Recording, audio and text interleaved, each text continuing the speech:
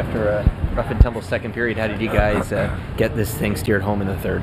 Um, I mean, obviously, uh, you know, didn't want to take any penalties, give them momentum. Um, we did a great job of that in the third. How we got back to our game of just um, good through the neutral zone, good in our own zone, getting on the forecheck, uh, recovering pucks back, and um, hanging on to it down low. What was that moment like? Uh, Auston getting to 50 in his hometown and being part of that. Yeah, it was great. Um, I mean, I think you saw it. I'm just trying to give him a, the whole first three shifts or four shifts we had together, so I'll probably get yelled at for not shooting a couple of those. But um, it's obviously a special player. We're lucky to have him. Um, he's in his hometown. A lot of people here, a lot of family, a lot of loved ones.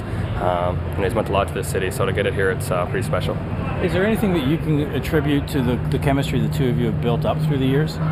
Um, I don't know. I mean, we're just great buddies on and off the ice. Um, we're very honest with each other on the ice and off it, just where we like to be, where we where we want to go with it.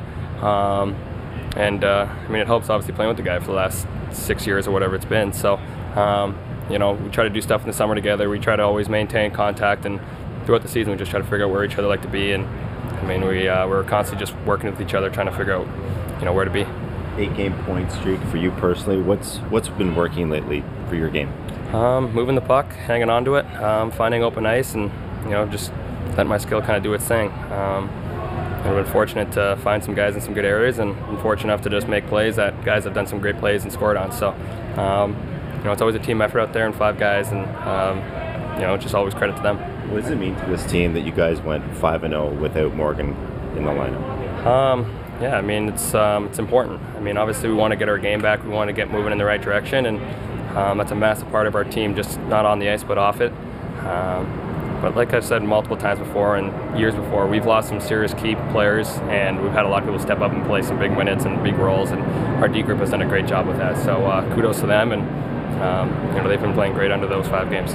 What do you like the most about the team game during this winning streak? Um, we're not beating ourselves. We're making sure we're making the good plays, the right plays. Um, you know, I think we've really, you know, done a good job of slowing down uh, track transitions and you know odd man rushes against us. And um, you know, I think as a five-man unit out there, we, when we break up the puck very well, we're uh, a dangerous team coming to that neutral zone and do big plays when uh, we need to. Not the first time, but just what's it like playing in this in this arena? Just something a little different. Yeah, I mean, it feels like you're back playing in junior hockey. So um, it is what it is, and you know, it's. Um, we always know we get a great crowd and great fan base here in Arizona. Obviously, you know, Auston and now Kniesy being here, a lot of loved ones, a lot of families. So it's always a sold out um, barn when we come here, and you know, the crowd's always into it, so it's fun. What's this night mean to you? Yeah, it's great. I mean, it's uh, you know a small step in you know a long season, but obviously coming playing at home, uh, you know playing against a team that's really had our number over the last couple of seasons, and um, you know it was uh, just a good win, good good effort throughout the lineup, um, everybody contributing, and just really solid efforts all around. So um, you know we'll take the two points, and you know obviously we're right back at it tomorrow. You talked a little. Sorry, interesting. He was looking for you maybe too much the first few shifts. Could you sense he was uh, trying to set you up there? Yeah, I mean, I think in early on, like we had good legs going, and uh, obviously a couple power plays, and you know, being able to kind of snap it around. But um, you know, he sees the ice so well. I just try to get open when he's got the puck, and I know uh, he's got a great sense of where I am out on the ice, and uh, vice versa. So um, you know, we just try to work off the puck for each other and create that offense.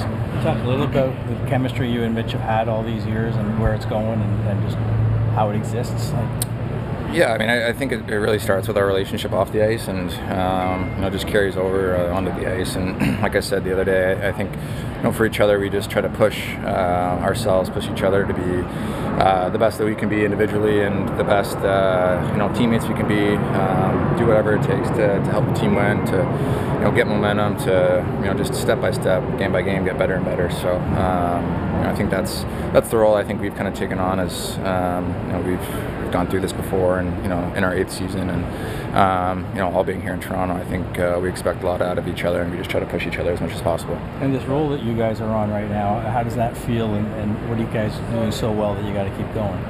Just working. I think just working, competing, um, working off the puck, uh, taking care of our own end, and um, you know we're in the neutral zone, offensive zone. I think you know just let the instincts take over and work off the puck for each other, and just try to create as much as possible. What, what was this atmosphere like uh, to play in? This is obviously a unique barn. Yeah, it's very unique. Um, I mean, it's no secret we travel pretty well with fans and stuff, but obviously. Uh, a lot of blue and, and white in the in the uh, in the stands tonight. So you know it's always fun. You know, for, for it being a college hockey rink and you know not the same as an NHL size rink. I mean, it's uh, it's a great atmosphere and uh, makes for a pretty fun uh, fun game. So What do you think you'll remember do one more a night like tonight with all your family? I think just having them here, just being able to experience it uh, and do all this uh, with them in the stands. William, how'd the team get the job done here tonight? How? Yeah. Or what was the key in your mind? Yeah, I just think, I mean, came out got a lot of power plays, started the first period pretty good. Then, uh, I mean, they came back a little bit, but then we uh, fought it off and took over in the third. What was it like to see Auston get 50 and then another one in his hometown here? Is that? Sorry, uh, obviously uh, crazy. Uh, I mean, very fun for him and family and friends probably that he had here. So uh, special, special moment. I mean, it's just incredible. At what point coming out of the box are you thinking you could get a breakaway, you could get a scoring opportunity like that? Like, not gonna lie, I was thinking when I sat in the box before the third period started, thinking I might get a breakaway. Why? I don't know, it just happened, so we'll take it. you manifested that? I don't know, I just sat there and I was like feeling a breakaway coming, so I don't know. Well, it's- It is what it is. Uh, Mitch sets you up. He's setting everyone up. I think it's like five straight multi-assist games. What's standing out about his game right now? Yeah, I mean, he's just making plays all over the ice. Uh, I mean, before the pass before uh, Maddie's second goal is obviously incredible. Um, but yeah, he's been he's been playing unreal. Felt like you were feisty tonight. Like, uh, what was the battle like with Durzi? Just how would you sum up your game? Yeah, I don't know. It is fun. Yeah. What was it like to see Burton, Domi get in there after uh, Sean Putt pushed you there? They were very quick. Yeah, I mean, they always. I mean, we, they stick up for me, and I'll stick up for them in, in situations like that. So, uh, Tom said he's he's coming in right after me. So I love it. What do you like the most about the, how the team has played during this five-game win streak? Yeah, I think we're just establishing our game. I mean, getting better and better. I mean, getting a feel for, for what we need to do to win. And I think, um, yeah, coming off from struggling a little bit to winning some games is good. What do you think how Tim how Timothy is kind of elevated when Morgan's been out of the lineup? Yeah, he's been he's been unreal out there. I mean, obviously on the power play, uh, making great plays and five on five PK. So I mean, he's been doing a great job. Timothy, what was the key to the win tonight? Uh, yeah, obviously got off uh, got off to a pretty good start there in the first, and um, trying to build build off of that. Uh, obviously, scored two in the second there, but uh, uh, we stayed with it and uh, eventually pulled away. So um, solid game. How much has getting some more opportunity on the power play contributed to your confidence over the last stretch? Yeah, no, it's been good. Uh, it's easy job. Just give it to to Maddie and he'll score. uh, but yeah, no, it's been uh, it's been great. Uh, I feel like my confidence has been uh, getting better each game here, so uh, it's been feeling good. What uh, was it like to see Auston get 50 in, in his hometown? Yeah, awesome. Kind of expected him to score uh, score his 50 today, the way he's been scoring this season. So uh, you know, good for him. Probably had a lot of family in the in the stands too. So uh, you know, huge moment for him. And Mitch, five straight multi-assist games. Like, what, what stands out about how he's playing right now? Yeah, he's feeling it. Uh, just buzzing around, making uh, making good plays. Uh, had a pretty nice uh, play to to Broach there before uh, Matty scored scored his second. So uh, it's fun to see. What do you think's turned for you in terms of your confidence? Is it just the, the increased assignment, uh, skating with TJ? Like, what do you think has led to the? Um, I don't know. I think uh, it's a combination of you know playing a little bit more, and uh, I thought even before I played more minutes, I kind of started to feel feel my game again. Uh, but just trying to trying to build off every game, and uh, as I said, it's been uh, it's been feeling pretty good. Absolutely. What's the best part of the way the team's been playing during this this win streak as a whole? Uh, the points. Uh, we need the points. It's it's close in the standings, so we need every, every points we can get. So uh, you know, it's been uh, it's been pretty good. What was it like to play in this this building? It's obviously a bit of a unique experience in the NHL. I like it. It's pretty fun. Uh, you know, it kind of reminds you of going back to junior a little bit. Uh, smaller, smaller arena, but uh, uh, it's pretty. Uh, I don't know. I think it's pretty fun. Doug, what stood out about how your, your team navigated this one tonight? Um, obviously get get going well early in the game, take control. You know, whether it's a huge goal from McMann to get us going, and then our power play taking advantage of their opportunities. You know, and then gets gets a little hairy there in the second period. Right? I think they they get two, but I did like how we managed it. Um, don't like obviously they get the third goal there at the end of the second period, but uh, uh, I thought by and large we managed it well from basically from the point of, of the the time they scored the second goal. I thought we did a pretty good job of it. It was a really good third period, really clean third period. Obviously, Willie scoring coming out of the box helped a great deal, but but uh, I thought the guys managed the third period very well. Mitch and Mitch and Auston, you, you almost have to go back to Darryl Sittler and Lanny McDonald for a pair that do so much for the team and, and combine so much. What are your thoughts on the way they've grown together and just continue to do what they do? Yeah, I just don't know if there's much more that I could say. I mean, I've, I've year over year, uh, I've answered this very same question. It seems they're they're two elite players that have great chemistry. Their games complement each other very well.